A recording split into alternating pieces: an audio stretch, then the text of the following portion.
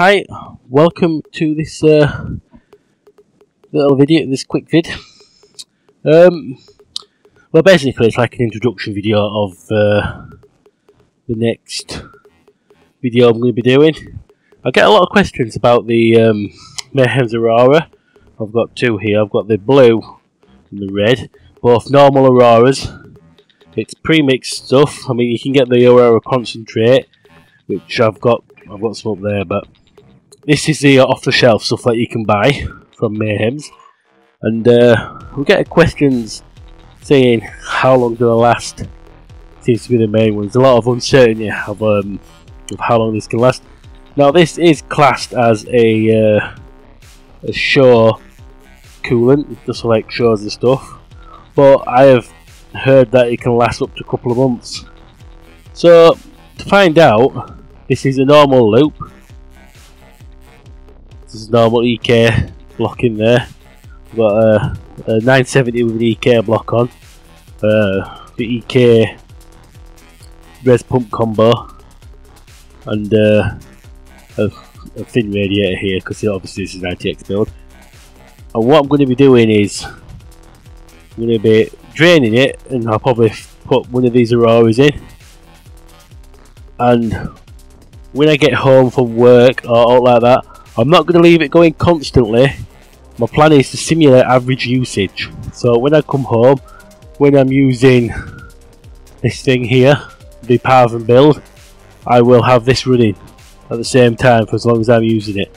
When I switch this off, this will be going off as well at the same time. So it'll like simulate my usage. And I'm, I'm always on my computer, as you can imagine. So yeah, I'll uh, get this drained and get the Aurora in, and uh, I'll be back.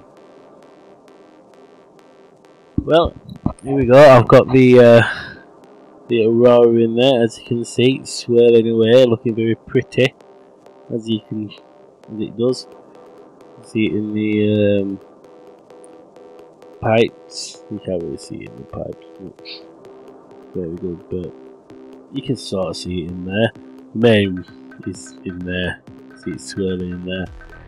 So I'll top that up as that because that's naturally gonna go down as uh, air bubbles are worked way loose through, obviously.